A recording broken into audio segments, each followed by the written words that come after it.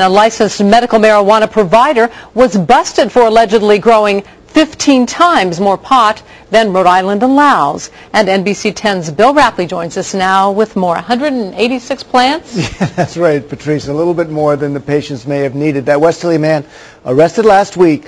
While his family says the plants were only seedlings intended to provide care, the police say he was growing to distribute.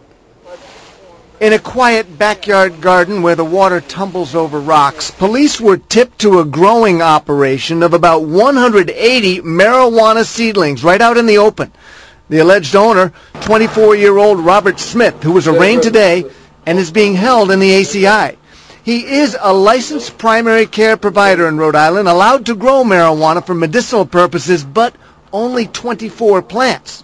His father points out that the seedlings have no medicinal value it takes a while for the plants to grow past the juvenile stage before you can select the female plants, which is the only one that have potency. The law clearly states only 12 plants per patient.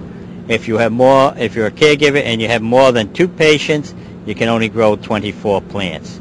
Representative Thomas Slater was the House sponsor of the medical marijuana bill, and this is the first bust of a primary care provider.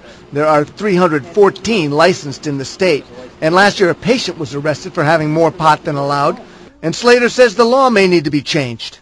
I think it maybe it needs to be changed or needs to be tweaked a little bit so that we can come up with some way of dispensing medical marijuana by a nonprofit or some other group. Smith's father, an amateur horticulturalist, also believes if his son is a criminal, then the law needs adjusting.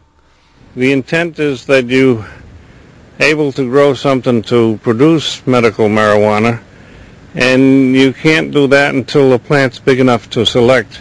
But the police believe long before that they are big enough for arresting. Now, every provider in the state must have at least one doctor-certified patient, and interestingly, there are more licensed providers in Rhode Island than there are licensed patients. I'm Bill Rappleye, NBC 10 News.